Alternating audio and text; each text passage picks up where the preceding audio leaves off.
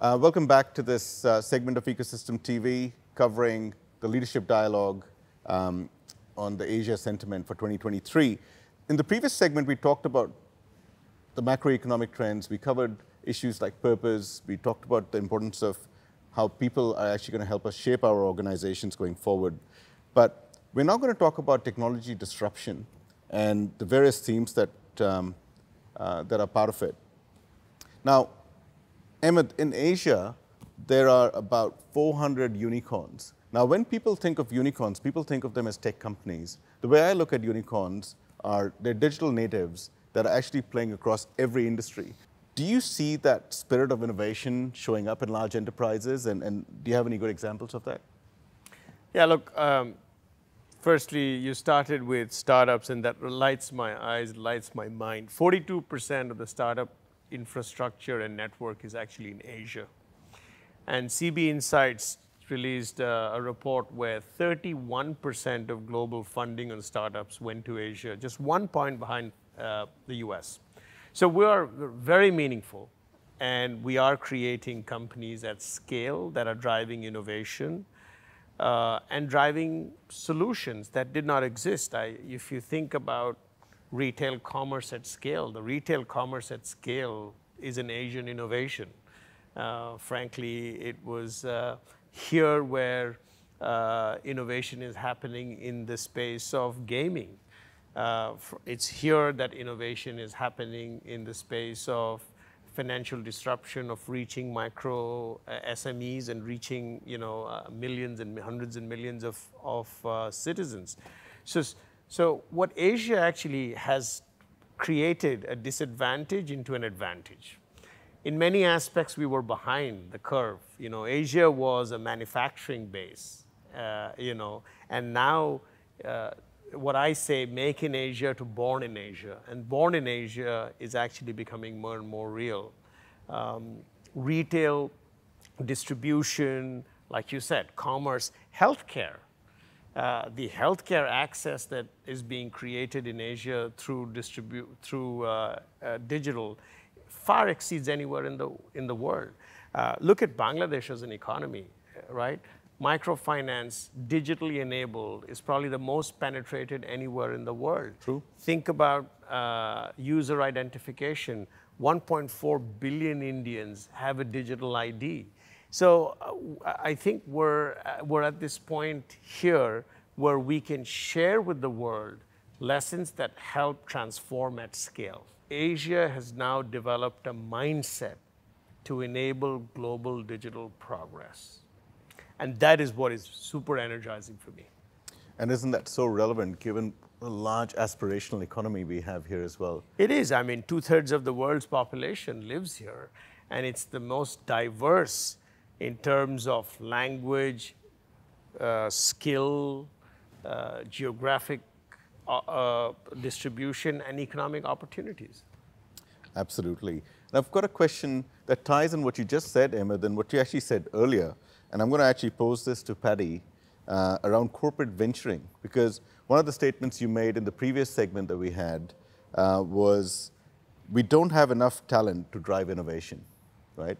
One of the statements you made right now was 42% uh, of the startup ecosystem is based in Asia.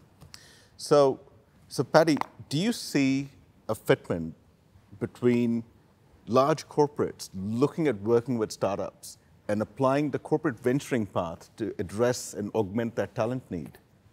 That's a very good, uh, that's a, that's, that, that makes a lot of sense. And I think uh, not limited to this partnership, I think there is a need for a, uh, for a stronger ecosystem that extends to the government, extends to the, the public policy, extends um, also to uh, the university. So I think any sort of this partnership can be really fundamental in creating that ecosystem and that fungibility of talent that we can uh, do. And uh, in that sense, also uh, talent in digital is, is, is going to be defined um, in a lot of ways quite different from the past. So it's not the erstwhile IT that we're talking about. And digital no more is about what you do, the disciplines that you do around, say, data science or cloud um, or, or, machine learning or uh, AI. It's really digital is really about who you are rather than what you do. You've obviously got a customer base across Asia. Are you seeing a big role for corporate venturing across the region? I do, but first let me, let me explain why. And uh, Hamid gave some color about the relevance of the ecosystem of startups in, in this region. Let me add a little bit uh, to, to, to, this color. Uh, in third quarter of 2022, Asia overtook US in terms of number of deals funded and overtook Europe in terms of mega deals funded, deals that are above $100 million. So it's absolutely uh, astonishing the, the speed at which the, the ecosystem of startups is, is growing in, in this region. And we know there are more than uh, 60,000 uh, startups in India. Uh, we know that Seoul, for the first time, is amongst the top 10 largest ecosystem in the world. Uh, we know that in Singapore there is a thriving ecosystem of startups and most importantly accelerators. There are only in Singapore 200 accelerators. And we know that uh, uh, in the rest of Asia, we have emerging ecosystems that are more and more relevant, Kuala Lumpur, Vietnam, uh, Jakarta, to name, uh, to name a few. So in this context, of course, for corporate, it's imperative to do corporate venturing and to constantly look at their business model, their value chain, and make decisions in terms of uh, build, acquire, or partner with uh, these disruptors. What we do in Kyndryl is uh, we are tackling corporate venturing, of course. We, we currently have in the pipeline more than 250 uh, startups that are, are, under due diligence. We already onboarded uh, more than 60 in just one year of life. And, um, but we're trying to do corporate venturing in a, in a different way. And the two defining characteristics for us, for us are, first, uh, it's really a cross-functional effort. Uh, sometimes the risk of corporate venturing is to have a team that is isolated from the rest of the enterprise. Mm. Having a cross-functional uh, effort really enable us to, to drive faster value to our clients and, and to incorporate faster uh, startups in, uh, in, in how we work and the solution we deploy for our clients. And the second element is uh, we are very strict in terms of uh, looking at uh, startups that align to UN SDG goals.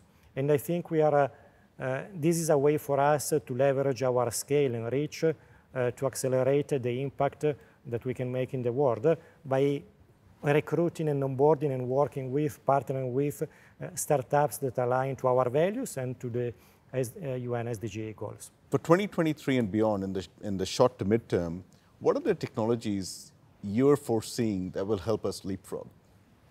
Uh, we are seeing uh, across the board, across the enterprise, across the clients we are working with, a uh, few technologies that are being prioritized. Uh, between 65 to 70 percent of uh, companies are uh, really looking uh, very deeply or adopting 5G, edge, blockchain, and metaverse. These are the key technologies that are driving innovation. I think it is going to be imperative for, for companies to drive um, to drive adoption that is not technology-led, but is really uh, customer-led. And the biggest challenge that CIOs and tech leaders are facing, as we see it, is not just in deployment, but also ensuring that they're fully aligned with, with the desired business outcome. Right? Yeah. So you've seen a number of these large transformation deals. Uh, what is your perspective in terms of the right ingredients you need to have in play um, to, be, to have a successful digital transformation program? Yeah, uh, technology is only a means to an end. So I think a few, few ingredients, few uh, recipe for, uh, for success based on our experience. The first one is uh, always start with the business outcomes in mind. Whether it's about uh, improving the customer experience, it's about uh, improving uh, employee productivity or driving growth through new business model. I think it's of paramount to have clarity on what are the, the business outcomes you want to achieve and I really think there is a case for driving more uh, technology conversation in the board. I don't think today in the board there is enough uh, technology discussion. We know for a fact that technology is a key enabler of transformation, both at the application and infrastructural space, but I don't think uh, see the CEO is bringing enough of this technology conversation within the board and making it a key strategic imperative. So that's the first one. The second element is uh, CIO, they really need to accelerate on the um, modernization of the IT estate, accelerating the, uh, the migration, the transition to hybrid environment, and really uh, driving modernization both at the application and infrastructural uh, level to, to increase agility and enable growth.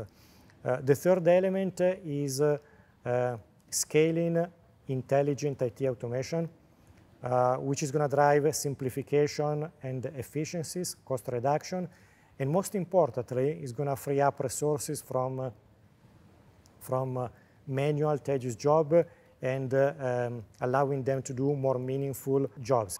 All of the above while building the, a secure and resilient enterprise, uh, which is becoming a priority uh, for, for CIOs and for, and for business leaders alike. And it's becoming more and more also a source of uh, differentiation and competitive advantage.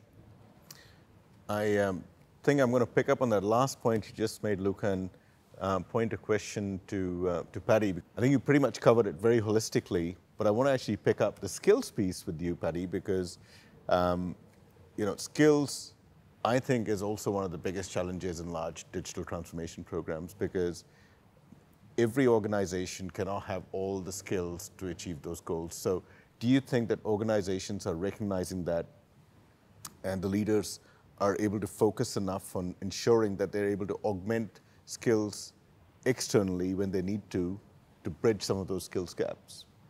Yeah.